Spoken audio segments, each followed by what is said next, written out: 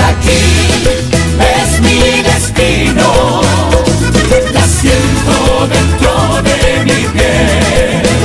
Con su espíritu va